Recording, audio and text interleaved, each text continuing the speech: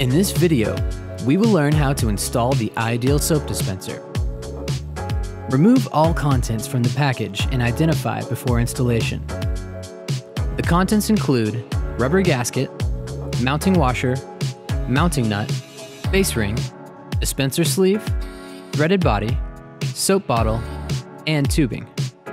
The only tool required for this installation is a standard number 2 Phillips screwdriver. Now, we're ready to proceed to the installation process. Step 1. Slide the base ring onto the threaded body.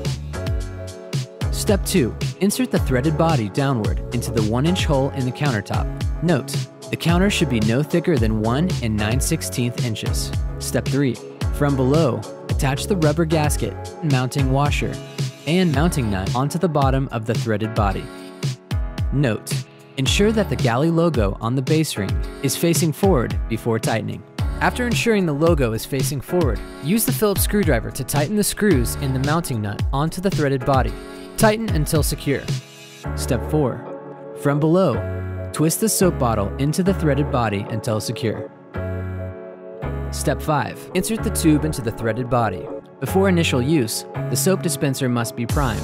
To do this, pump water through the soap dispenser until it comes through the spout.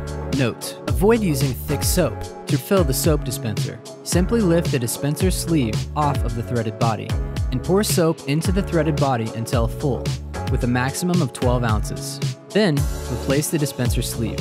Step 6. Reattach the dispenser sleeve to the threaded body. The installation is now complete. Every Galley soap dispenser comes with a limited lifetime warranty.